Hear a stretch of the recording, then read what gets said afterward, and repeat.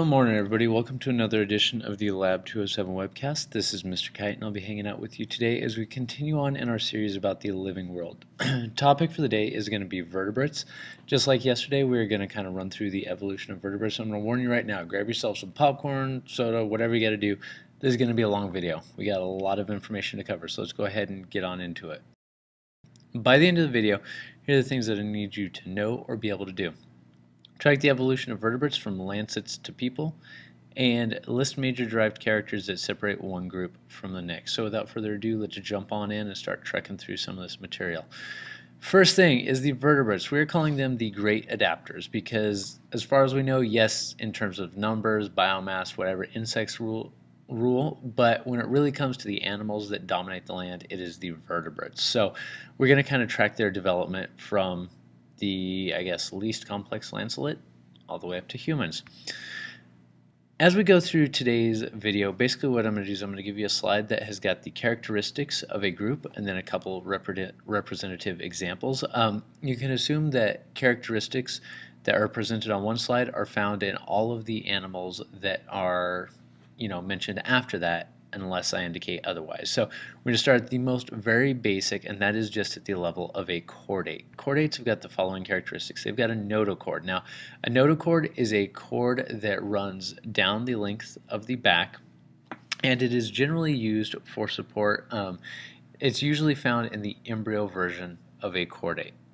There's a dorsal hollow nerve cord. So this is going to end up usually developing into the central nervous system. It's usually found in the embryo. Um, quick little diagram. If you were to draw just like a basic embryo, embryo, embryo, um, you would have kind of like the developing organs right here.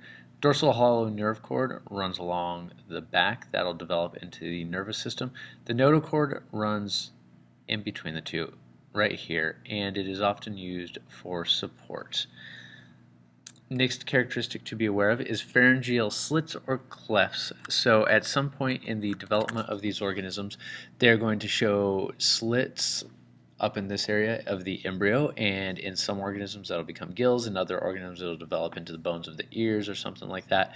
But this is present in all chordates at some point in their development and a muscular postanal tail. Now, obviously, in organisms like humans, this has disappeared, but in most other chordates, this is a characteristic that is present. The most basic chordate is known as a lancelet. There's also an organism known as a tunicate.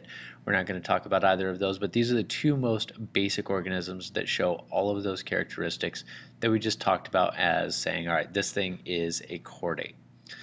Now moving forward and becoming a little bit more advanced, we're going to go from the characteristics of a chordate to a craniate, which means that we are starting to add a cranium, a head, to the organism. Um, examples of craniates are not examples, characteristics of craniates that differentiate them from the other chordates, the ones below them, is that they have two or more sets of Hox genes. Remember those that are the genes that set up body plan and segmentation and all that good stuff. They've got a neural crest which gives rise to many of the skull bones. When the embryo is developing, there is a line of cells along the back that is known as the neural, neural crest. As that embryo develops on into its adult form or even its juvenile form, um, those cells of the neural crest are going to give rise to many of the bones of the skull. And there's an active and extensive muscular system found in these organisms. Finally, they have hearts that have at least two chambers and you get specialized blood cells, so red blood cells, white blood cells, things like that. Our representative, most basic example of a craniate is known as the hagfish. They are gross fishes. They can turn themselves into knots. They secrete mucus. They are nasty, but they are the most basic organism that shows all of the characteristics of a craniate. Moving forward, we get to the vertebrates. So hagfish, no vertebral column. In the vertebrates, we see an extensive skull, usually surrounding a brain. We see a backbone composed of vertebrae that wraps around the spinal cord. Um, remember, I talked about that hollow dorsal nerve cord developing into the nervous system. So the organisms before this, that nerve is just kind of naked. Once we get to the vertebrates, it gets surrounded by vertebra, backbone. And, if my point will come up, we have a complex nervous system. Now, the most basic form of a vertebrate is known as a lamprey. Lamprey looks almost exactly like a hagfish, except for they got that round mouth full of teeth. And based on what I just talked about, we know that they have a rudimentary skull and they've got vertebrae surrounding their uh, nerve cord. All right, stepping on forward, we move up to the gnathostomes. So we have got jaws. Gnathostome means jawed mouth. Um, hagfishes, obviously, they, they didn't have jaws, they just got that big old round sucker cup. So gnathostomes have jaws, at least four sets of Hox genes. So we're starting to set up a pretty complex body plan by this point. Enlarged forebrain that allows enhanced senses, right there, enhanced sense of smell and vision obviously allows for some learning and some planning and some of the more complex actions that you see in more advanced animals. And lateral line and aquatic craniate. So in examples such as fishes and sharks, they've got a organ that runs down their sides called the lateral line. It allows them to sense pressure changes, vibrations in the water, things like that. Obviously, terrestrial organisms don't have them, but it is something that is unique to the aquatic versions of the gnathostomes. Our most basic gnathostome is the chondrichthyes. Now these are your sharks, these are your rays, and these are your skates. A skate is kind of like a ray. Um, they are the most basic gnathostome. Thing to know about them is their skeletons are made out of cartilage. So we have not yet gotten to a bony skeleton, but we've got, you know, we got a skull, we got jaws, we got teeth. We do have a version of a skeleton, good muscular system, good nervous system by this point. And then we're going to talk about the ray and lobed fin fishes. A little bit more advanced, all of the organisms from here on out are going to have an ossified skeleton, which means that they've got bones made out of calcium carbonate. Um, these types of fishes have an operculum, which is a covering over their gills. If you look at my little diagram here, right here is the operculum. Um, sharks, they don't have any covering over their gills. They've just got open gills on the outside two types of fishes. There's the ray-finned fishes, which are the traditional fishes you think of. They've got, you know, their fins consist of a set of bones, and then there is really thin membrane in between the bones, no meat, no muscle, nothing like that. There are also lobe-finned fishes, of which this guy is an example. In a lobed-finned fish, you've actually got a section of the fin that has got meat and muscle and bone in it. So these are the guys that they think maybe became the amphibians because they show rudimentary limbs. Ray-finned fishes don't have any of this meat or bone in their fins. Continue our trek forward, we get to tetrapods. Now, like I said, the thought is that those lobe-finned fishes eventually became the tetrapods. Examples are not examples. Characteristics of tetrapods are as follows. Tetra means four, pod means foot. So we've got four limbs here. We've got digits, so that's toes and fingers. We have got another characteristic that doesn't want to come up. There we go. Head separated from the body by a neck. Obviously, the neck is longer or shorter depending on the organism, but the head is separated from the body. Pelvic girdle fused to the backbone. So this is uh, specialized to life on land. It allows the legs to transfer energy to the rest of the body and no gills are found in the adults. Now there are still pharyngeal gill slits which resemble gills in like embryonic forms, but once you get to the adult, there aren't any gills found. And our most basic tetrapod is going to be the amphibian. Um, obviously, this includes frogs. It includes things like, well, frogs, salamanders, caecilians. Sorry, I had a brain cramp there for a second.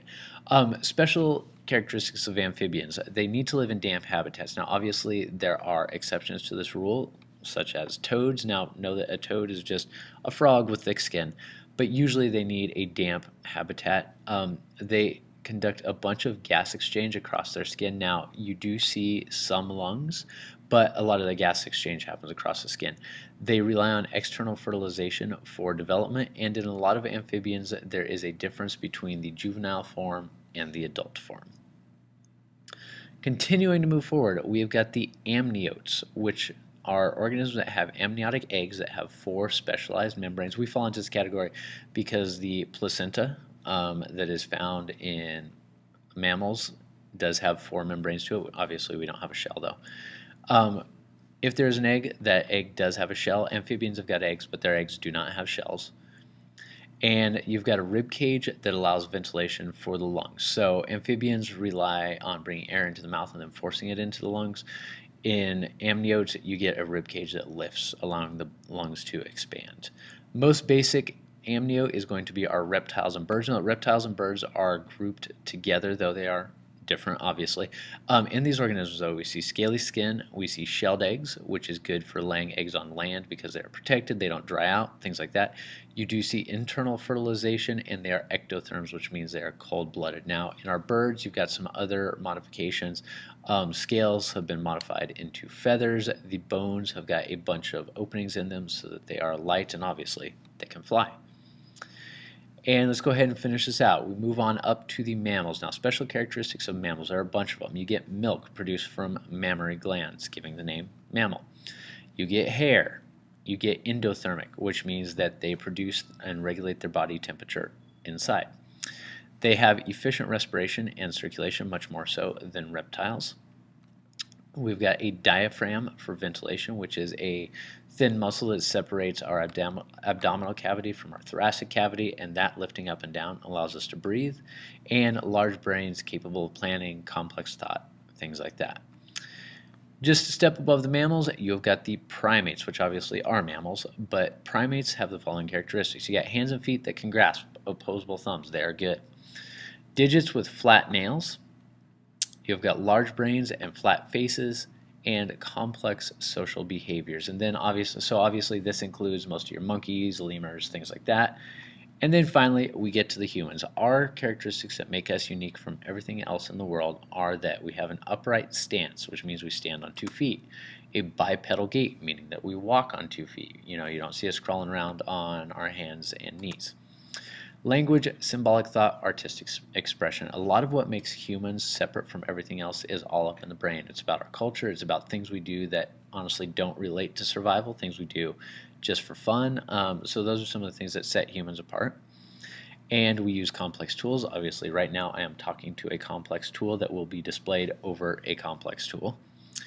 We have reduced jawbone and jaw muscles, obviously giving us the flat face that is characteristic to humans. So I know that's a lot of material. I just want you to try to string together the major steps that it took to get from one group of organisms to the next and how we got all the way from a lancelet up to a human. I'm betting that you're probably going to need to rewind and watch some of that, but thank you for sticking with it. Um, this has been the Lab 207 webcast. My name is Mr. Kite. Hopefully we'll see you again.